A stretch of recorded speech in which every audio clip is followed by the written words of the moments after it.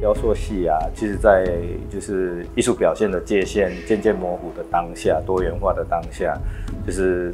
雕塑的存在，其实渐变得就是越来有一点越薄弱的感觉。那既然身为台湾唯一的一个雕塑系，那我们雕塑的雕塑系的本质到底是什么？雕塑创创作的本质是什么？其实我们是哎，后来把它界定为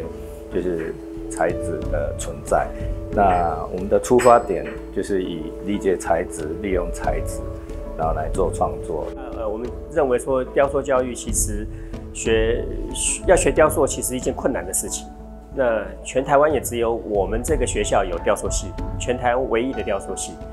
那雕塑系的教育，其实在内容上面，它是百分之九十九纯手工的。那我们知道说，现在在一个科技社会里面，有很多数位化的一些设备跟一些知识来支撑着创作的理想跟表现，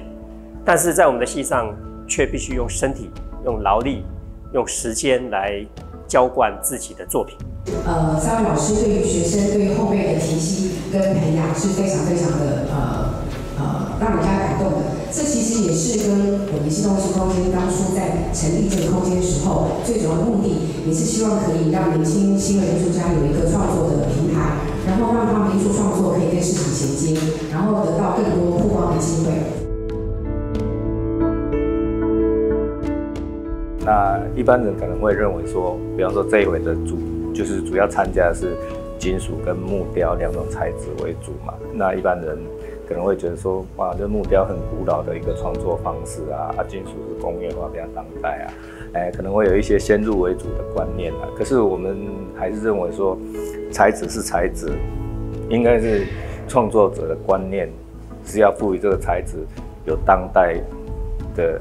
这种表现，还是说你要让它变成很传统的表现？其实这应该是在。表现者他自己的抉择，那最主要还是艺术家要怎么样去让这个材质的存在，哎，有自己的影子，也有时代的意义，哎，那这是我们这一回策展最主要的一个哎方向跟目标。